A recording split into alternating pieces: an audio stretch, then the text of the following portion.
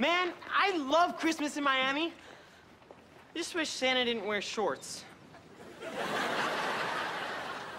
I can't believe this year's almost over. Well, you know what they say. Time flies when you're having fondue. Dez, it's fun. It is fun. You can dip anything in cheese. Broccoli, bread, my keys. Those are my keys. Oh. What a year! Jimmy Starr signed me to Starr Records and I released my first album. And you still might get to live out your biggest dream, playing Times Square for New Year's Eve. If Trish can pull that off, that'd be the best Christmas present ever. You know what my best Christmas present was? The fondue? Nope, the fondue. Wait, did you just say the fondue? Then you were right. Guess what I just did? I booked Austin to play Times Square on New Year's Eve!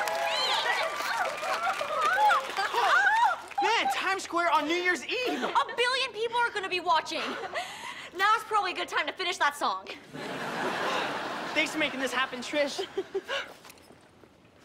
I better call to see what time they want Austin there.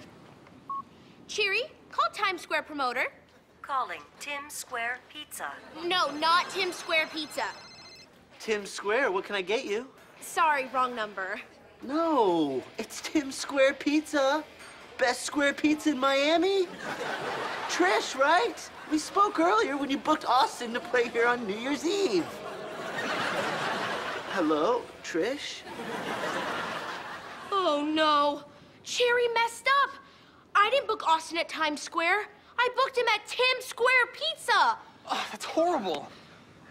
Since you have Tim on the phone, could you order me a half mushroom, half surprise me? Austin and Ally. Right here on Disney Channel.